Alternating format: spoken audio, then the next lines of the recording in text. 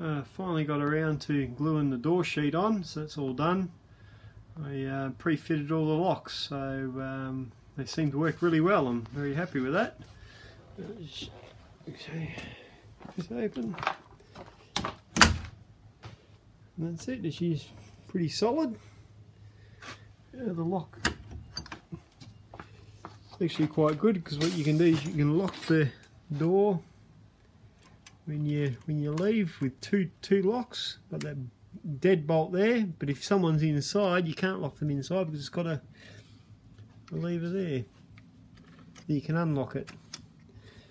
And you can also lock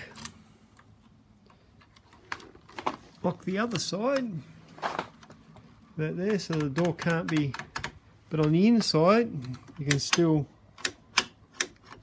open the lock so even though it's locked on when you leave you lock it on the outside. If someone's still inside they can still get out. No matter what you do with any of the locks on the outside if someone's inside they can always get out. But uh, yeah so I've all that down and it was very took me a long time to get all that done because I wanted it to be spot on and seems to have worked out well.